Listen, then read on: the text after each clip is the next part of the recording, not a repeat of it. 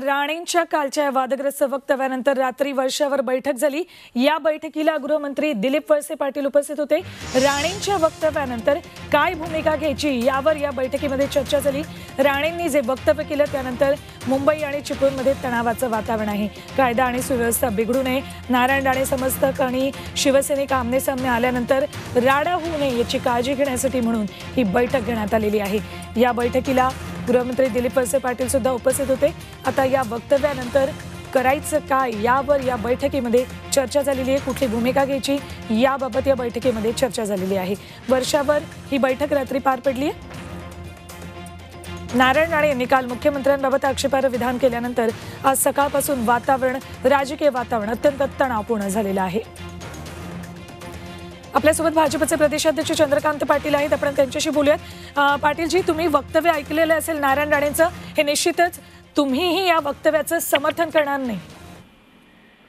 वक्तव्याचं समर्थन करणं न करणं हा विषय नाहीये. मला असं वाटतं की जे टोक गाठले आता सरकारने.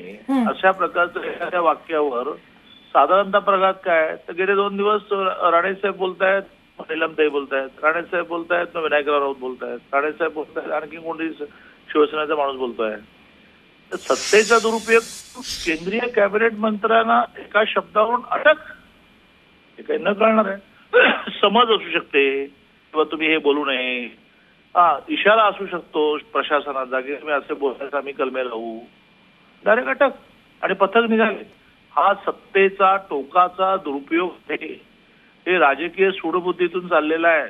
ठीक आहे चंद्रकांतजी तुम्ही म्हणताय की हे राजकीय सूडबुद्धीतून चाललंय राज्य सरकार चुकतंय असं तुमचं म्हणणं आहे. पण एका जबाबदारीच्या पदावर असलेल्या व्यक्तीनं दुसऱ्या जबाबदारीच्या पदावर असलेल्या व्यक्तीविषयी हे वक्तव्य करणं हे चुकीचं नाहीये का? तुम्ही उद्धवजींचं दसऱ्याचं भाषण काढा.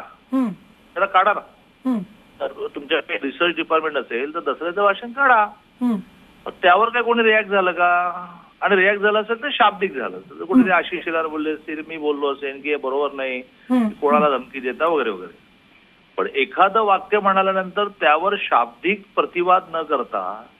शासन हातात असल्यामुळे अटक. समज नाही इशारा नाही. हे कशात बसतं? हे काय पहिल्यांदा राणेसाहेब बोलले का? रोज उठून कुठल्या तरी राजकीय पक्षाचा नेता कुठल्या तरी म्हणजे मोदींवर किती बोलतात? तुम्ही तर सांगताय मुख्यमंत्र्यांबद्दल. मोदींबद्दल किती बोलतात?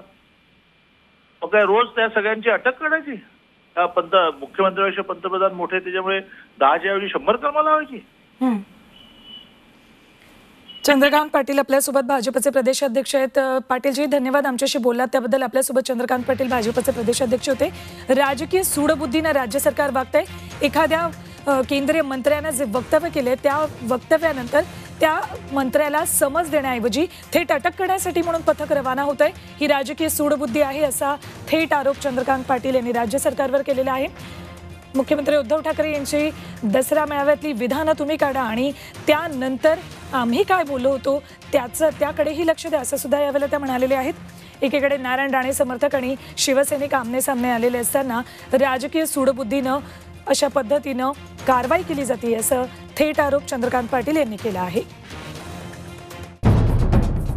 सह्याद्रीची उंची म्हणजे